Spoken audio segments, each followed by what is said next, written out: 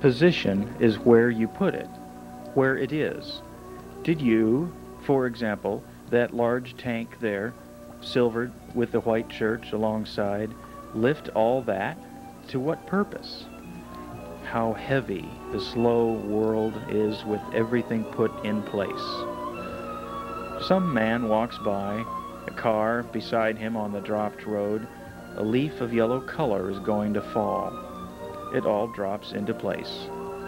My face is heavy with the sight. I can feel my eye breaking